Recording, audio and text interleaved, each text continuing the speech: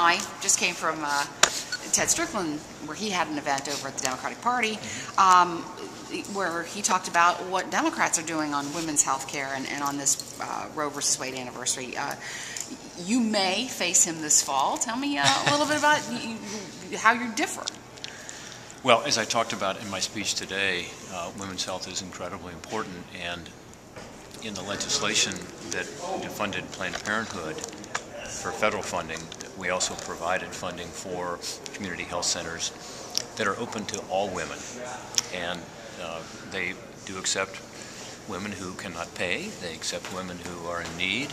Uh, there are about 10 times more of these community health centers in Ohio than there are Planned Parenthood clinics that provide that same health care. So it is an opportunity for us to make the point that this is not about women's health. In fact, we strongly support women's health, at least I do, and others who voted for the legislation. So I thought it was important to make that point this morning.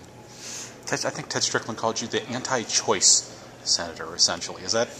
I, as I said today, I prefer the way the father, uh, Father Franks talked about it, which is that it's it's it's being pro-life, and the sanctity of life is something that young people, particularly, are starting to move toward. It was interesting, um, you know, to talk to some young people this week who are in town for the march and um, from all sorts of colleges and universities in Ohio.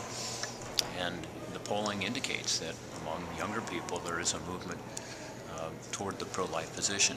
Younger people tend to be more pro-life, they say, than um, people who are uh, middle-aged and, and, and, even older Americans. So it's interesting. I think more people are looking at the science, understanding um, the fact that uh, you know life. I mentioned the neonatal units.